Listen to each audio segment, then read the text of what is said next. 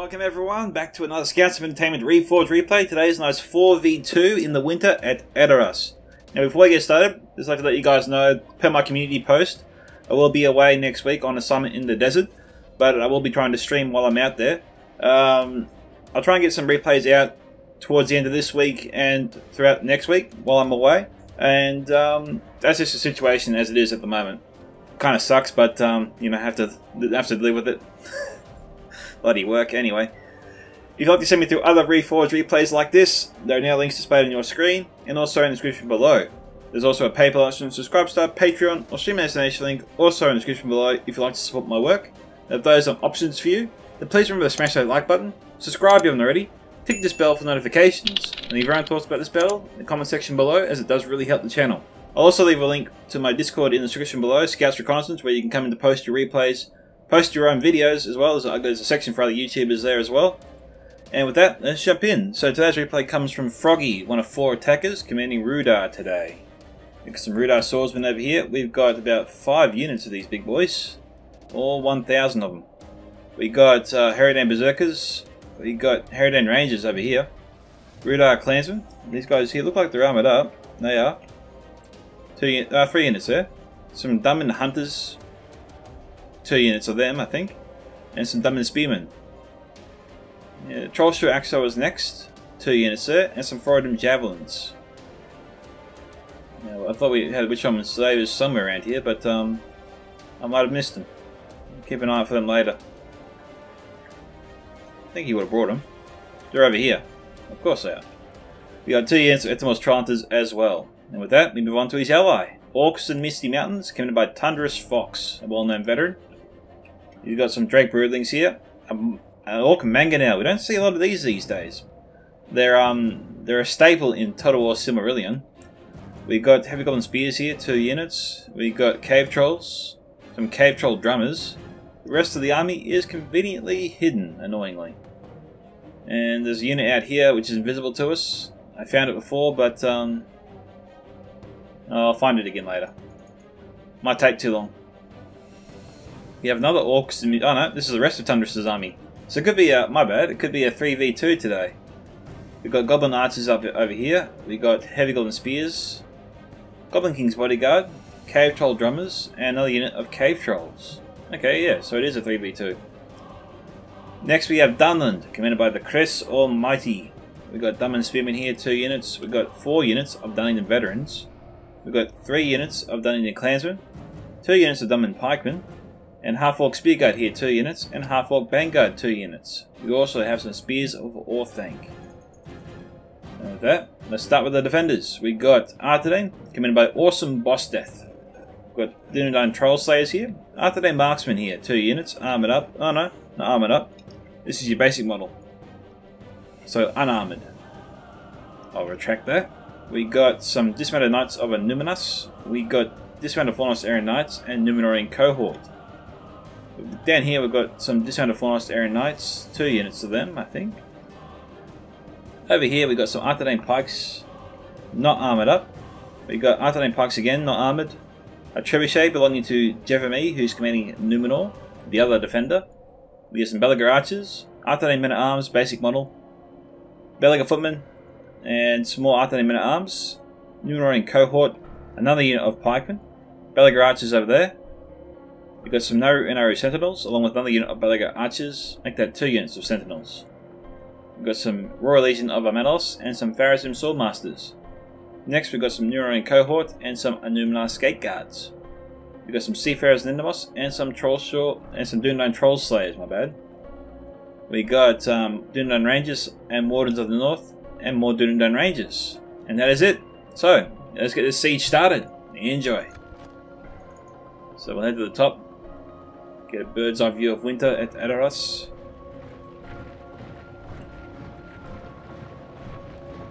Wonder when Jeb will decide to use a trebuchet.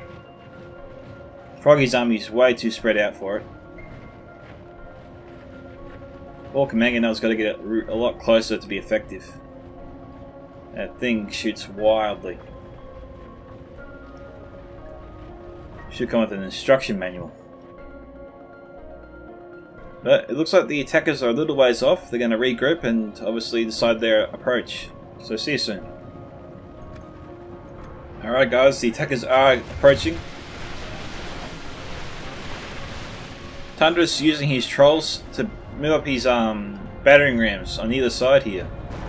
You think the trebuchet might, might try and take a shot at these guys as they approached? You know, a direct shot could kill at least two or three trolls.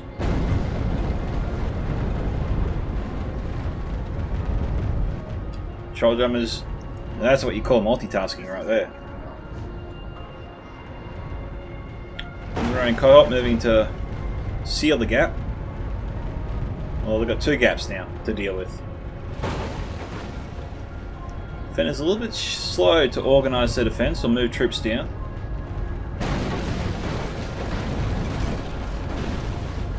I think they're being shot by the Dunman Hunters. Yeah, they are. Belegar in here. We've got some Belegar archers firing somewhere.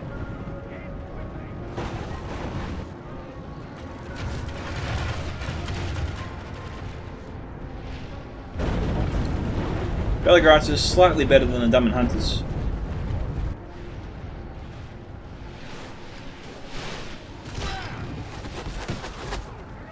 So I've got some archers on the hilltop near the trebuchet firing in. Yep, another unit of Belegar archers there.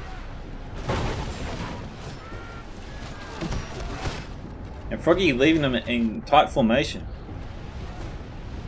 Surprised Froggy's doing that. Goblin infantry, infantry sort of charging in, Nurna and cohort, both units falling back here. Defenders extending themselves a little bit, but not backing themselves up with archers nearby for the outer units. There's no javelin support, no archer support. Nearest archers are over here.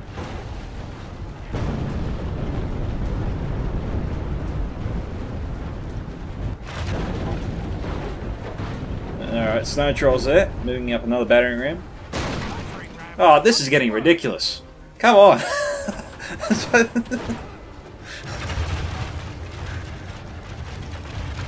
Dunedain Rangers firing in.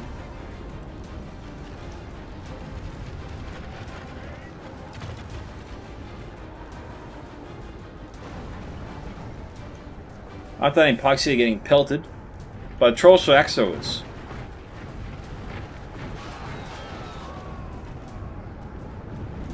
We've breached our enemy's walls.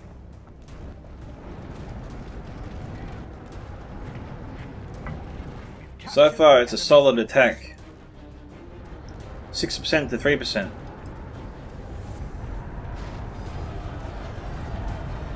We've got some Mountain Orc Berserkers backing up some Cave Trolls. The Drake Broodlings were thinking about going in. Snow Trolls also coming in. Arthedain Pikes withdrawing. So Tundras is moving up his forces. It looked like Evident Spearmen there for a second, but it's just Goblin Infantry. Dunedain Rangers from Awesome being left out here. Oh, they're out of ammunition, so it's no real loss, I suppose. If he leaves them out there. We got some Dunman Hunters making their way towards the rear entrance. Or are they? I don't know. Well, I guess we'll see whether or not Froggy has an angle where he is right now. We got clansmen, swordsmen all standing by. We've got Awesome falling back. We've got the attackers just surrounding the city, moving in a bit piece by piece. Chris keeping most of his army well outside the city at the moment.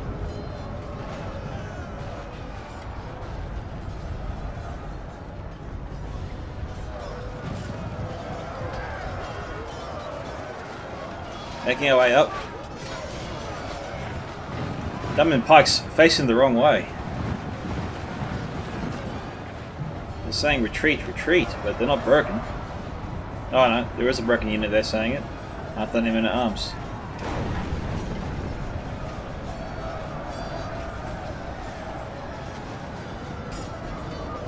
Okay, we've got a trebuchet here. We've got a nice blob of troops, but the trebuchet is not firing on them. Is there any real point to that anymore? They've already taken the city. They can move their army in through other portholes. The battle is very much in our favor. Other answers from Jim and me don't have a shot. Sure, they can move down here a little bit. We've seen arch units deployed here before.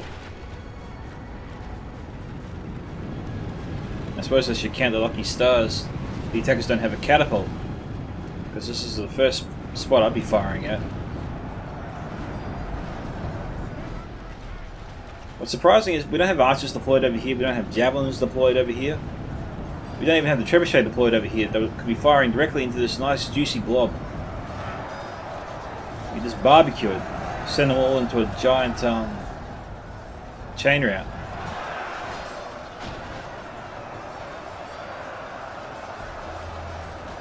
Troll drummers all the way down there. We've got an Orc Mangonel.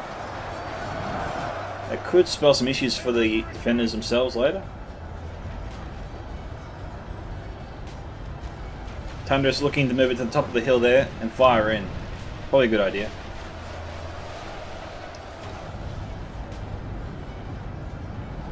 The defenders, to their detriment, are not reacting to that mangonel.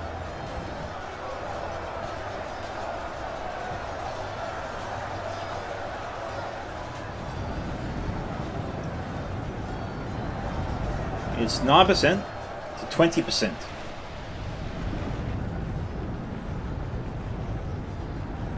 Jeremy not really getting his archers into position at all.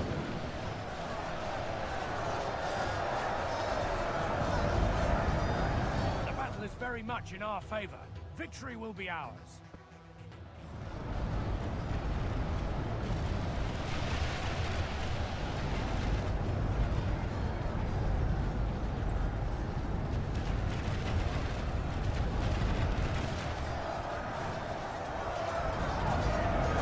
Well, Mangonel is not firing in at the moment. Oh no, it is firing.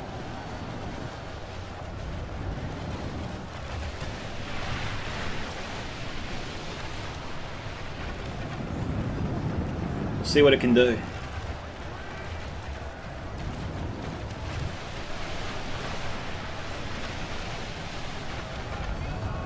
There you go.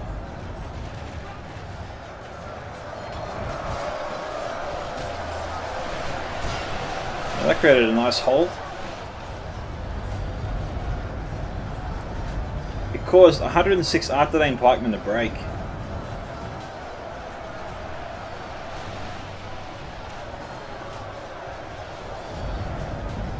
The attackers really bothering themselves up here. Trolls through Axos. They really have a shot? No, they don't. Most of the axes, to the defender's delight, going straight into the top of the hill here. Very few actually getting into the Numenorian cohort there, which is great news for Jev. Jev's pulling back his sentinels, but now why isn't this trebuchet being moved up here? This is to the real detriment to the defense. And a lot of Jev's archers are being impeded by this trebuchet. He's being impeded by his own archers. We've got two units of Belegar archers, I think, here, just stationed together. Really affecting each other's accuracy. Don't have a shot. If he could spread these guys out a little bit, he could have one unit over here firing to the attackers coming up the hill. He could fire having one unit down here, shooting at the reinforcements coming in. Like Froggy is really bunching up his troops here. He could get some easy kills just shooting down at them. But they're not doing it. We got some Dunman Hunters coming back here for some reason. They're out of ammunition. We got some Seafarers and Nimos back here. But the defenders are withdrawing to the top of the hill. Which is interesting.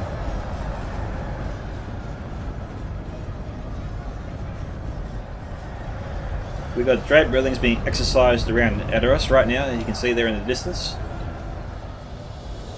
I suppose even Drakes need to exercise. And that's solid use of the trebuchet right there.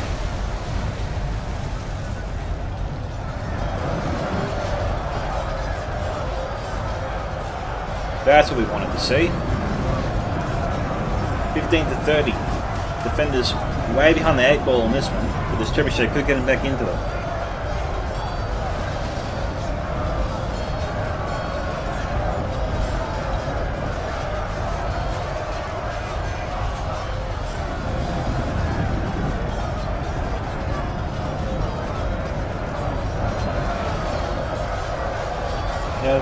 Only real ability for the attackers when this happened, or while this, this is happening, is they probably have to pull back some of their troops and try and move up some of their Trollshaw Axos and Javelins in this spot right here.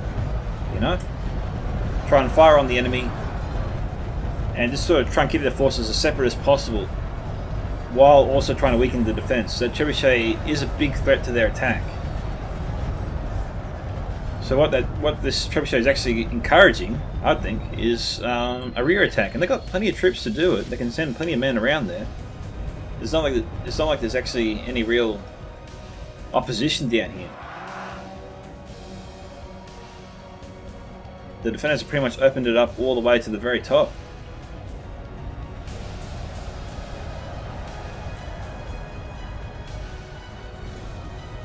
Trebuchet choosing to conserve their ammunition for some reason. You'd think one more volley would do it. I mean, I think one more volley is all that's required here to send most of these troops running for the hills.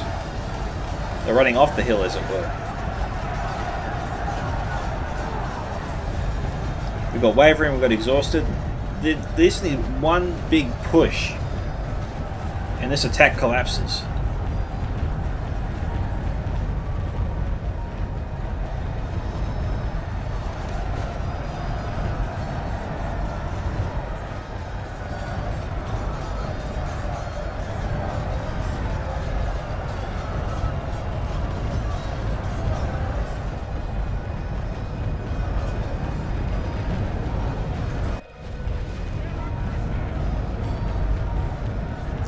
Goblin Archers getting into position behind the Mangonel.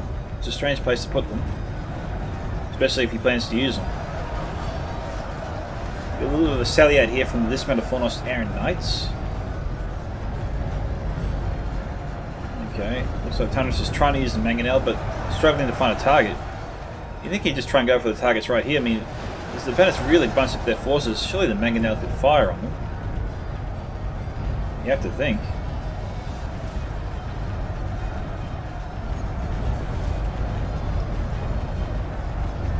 Go.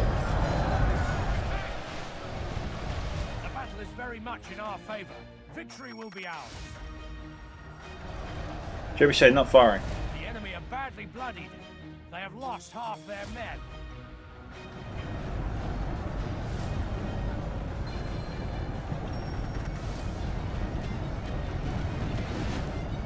That's a rear attack gun. Any progress on that front? With Dray standing by. No casualties on this side. And Froggy's stationed up stationed a lot of forces ready to go.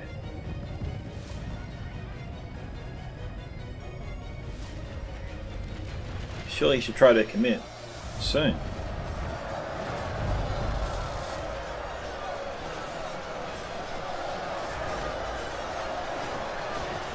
Got Numenor and Arthedain carving their way through the forces. Harridan Berserkers should slow them down. They'll have a tougher time driving them back. But Spears of Orthanc too, standing by, but I don't think these guys have used up any ammunition yet. Doesn't appear so. Looks like Tundras might have brought two Cave Troll Drummers. I bought two.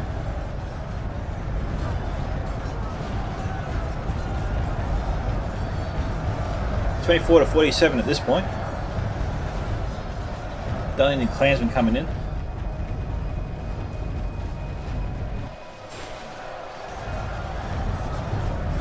Mangonel crew down to 439.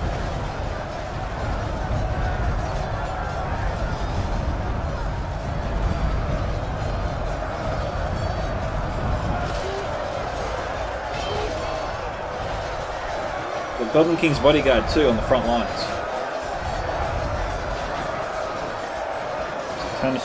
Is Turnus' general up here? I don't know.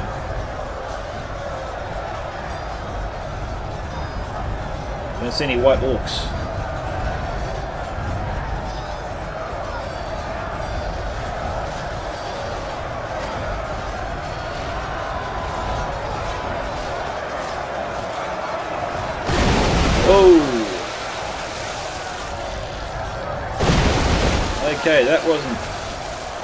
Or was it alright? I don't know.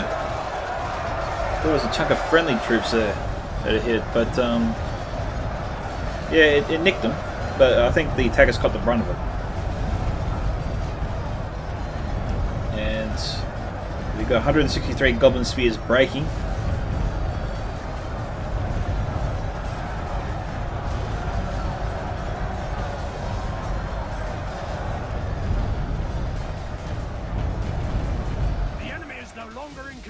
Tundras again moving up his Mangonel. Spears of Orthanc can surely find a spot to shoot. I mean, no, not here. The angle doesn't look the best. Oh no, hang on. Maybe they could sit here and fire into the Numinous Gate Guards. I think they got a shot there. We've got Drake Broodlings trying to cause chaos here in the Citadel. Froggy's making his move.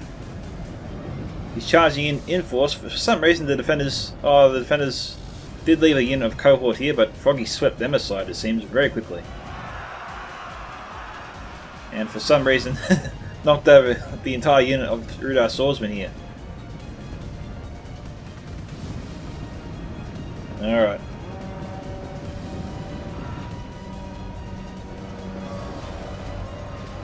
Probably, maybe should have tried to use the Drake Broodlings to cause as much chaos as he could. Mean, Froggy has a lot of troops back here. His entire army is about to come up the hill. I mean, we've got the best of the best of Arthedain and Numenor's troops here. It might be enough to hold Froggy back.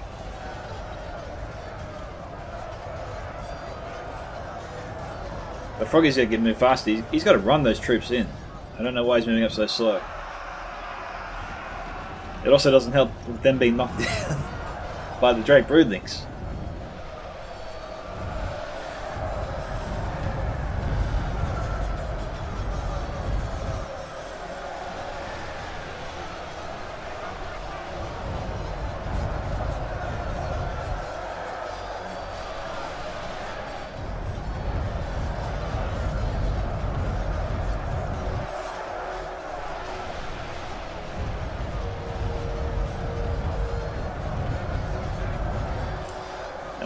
31 to 56. Our men are in command of the fort.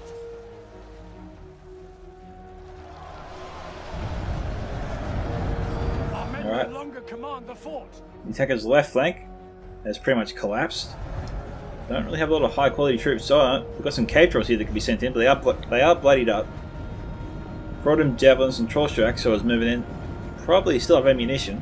Richmond Slave is also here. We've got a lot of troops here not being sent up just yet.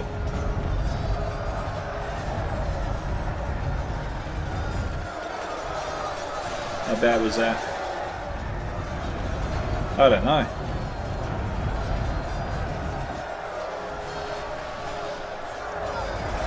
Our men are in command of the fort. Goblin Archers. They are just light tier troops, but they are causing some damage.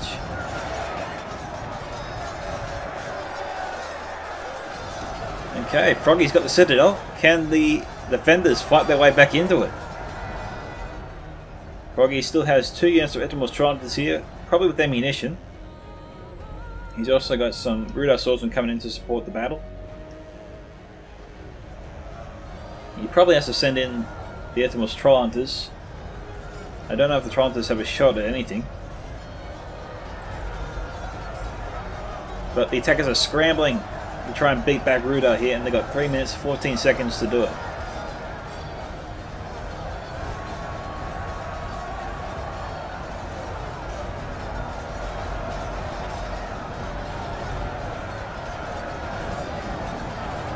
Oh, those, those guys here are broken.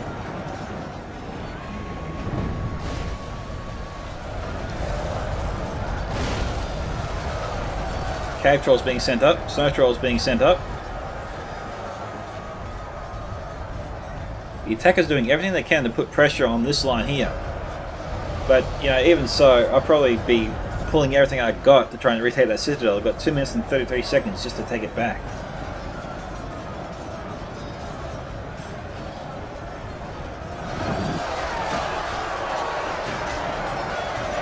The defenders are edging closer and closer to it.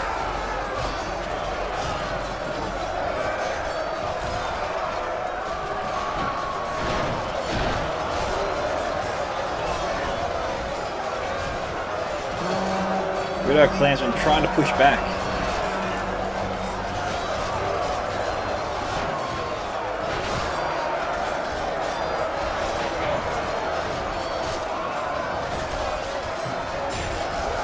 Still a few troops between them and the, and the Citadel.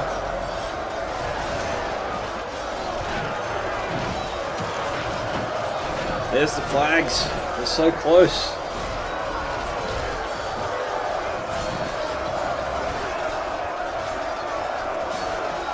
One minute 35. 40 to 66.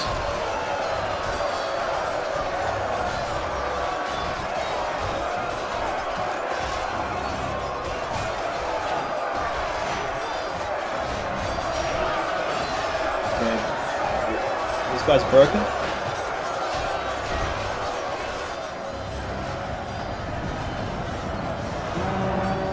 Got some Royal Legion of Armenelos over here. One minute.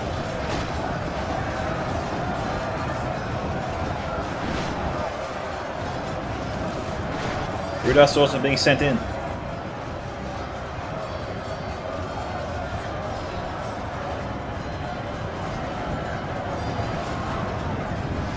Forty seconds.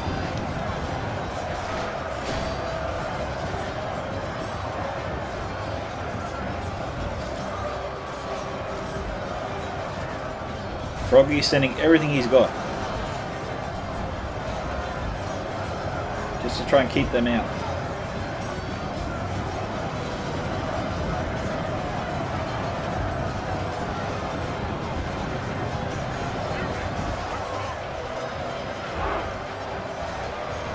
Seven, six, five, four. He's going to do it.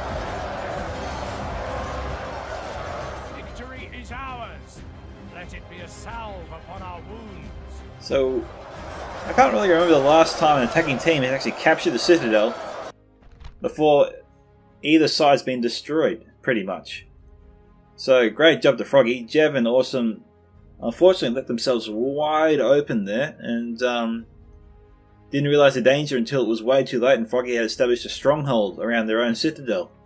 And, you know, congrats to Froggy on holding them out. That was a stellar effort. Chris and Fox did a great job distracting the enemy. They obviously were um, keeping them occupied, very much occupied, and allowed Froggy just to sneak in with his entire army. I don't know how he hired an entire army there, but uh, Froggy did it, and he did it well. So congratulations to Froggy on 662 kills, Chris Almighty 612, and Tundros Fox carried the team on 1,135. Jevami 2,316, Awesome Boss Death 1,505. Looking at the kill count there, no real stand-up performances except from the Herodane Rangers who got 243 kills. Nice job to them. Alright, congratulations to the Froggy and his team on their stellar performance. Nice capture of the Citadel. Again, haven't seen that in a long, long time. This is Scouts of Entertainment signing off. Catch you guys in the next one.